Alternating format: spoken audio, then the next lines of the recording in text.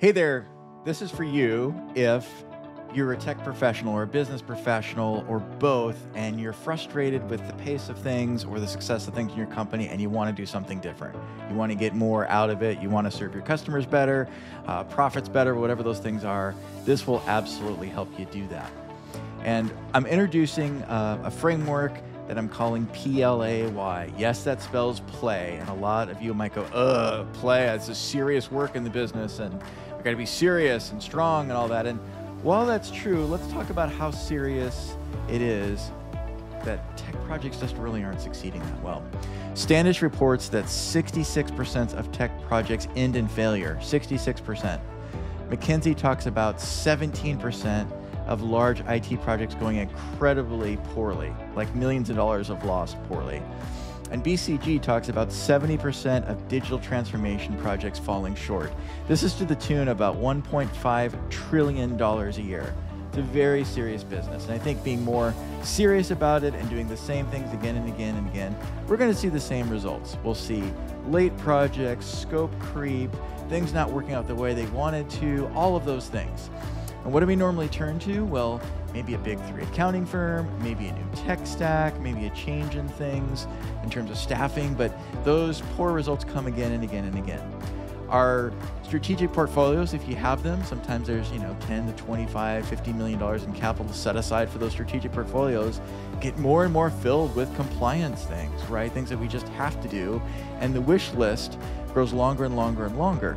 That doesn't mean those below the line things are less important. They're incredibly important or they wouldn't be there. But how do we score and evaluate those? Well, we do an estimate, uh, best guess with sort of a top down, you know, hope for the best sort of thing.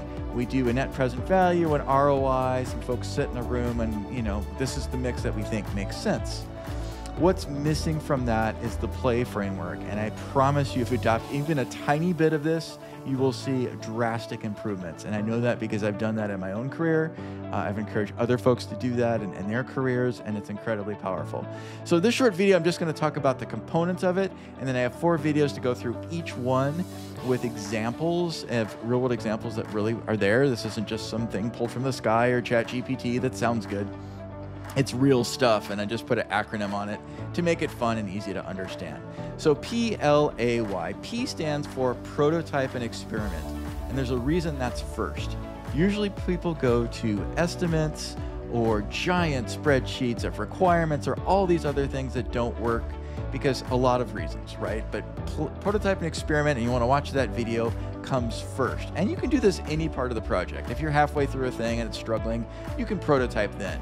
But the more you prototype up front and continuously prototype, the better off you'll be. And you actually you'll hit your timelines a lot more significantly and with the full scope that you want. It sounds weird, but actually doing that up front, doing recess first effectively is incredibly important.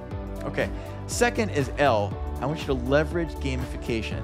So there's ways to encourage people, excite people, pull people into things using some very simple gamification. These are tiny little tweaks. Okay, this isn't a giant platform or a big RFP or this giant meeting you need to have and get approvals. Just little bits of gamification will move the dial. So that's P and L.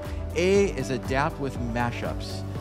So a lot of times we can get hard centered on we need this new technology stack or this new approach or this new thing. If you're at a larger enterprise, you probably already have a tech stack that is more than great enough. And instead of getting so high centered on super technical elegance, and I love all my technical friends, and I was an architect, I get it. But there are times that doing appropriate mashups, at least as a phase to your end state, that's this ideal technology and business state, make a ton of sense, and they will move you forward, and we'll talk about that. And the last is yield and use neuroscience. So there's some very practical ways here. Neuroscience is a big word and you don't have to memorize how all the brain works, but if you do have a basic understanding of how the brain works and you know how to motivate people that are stuck or projects that are stuck or programs that are stuck or companies that are stuck, you can really move the dial forward. And the, again, the same old command control things, the same old things you're probably trying to use that aren't successful, using them more won't make them successful, right? I laugh at that, but I've certainly done it and I see people do it again. This is not working, so let me do it more and harder and be surprised it's not working. So that's the PLAY framework. very excited to share it with you. I finally kind of packaged this in a way I can share it with people and they can use it. Um, if that's interesting to you, there's four other videos coming up. PLAY, you want to uh, make sure to subscribe and like and do all those things for the algorithm. But most importantly, share this with a friend. You probably know a friend that's struggling with projects or a coworker or something like that, and this can help you move the dial forward. So, looking forward to seeing you in the next four videos.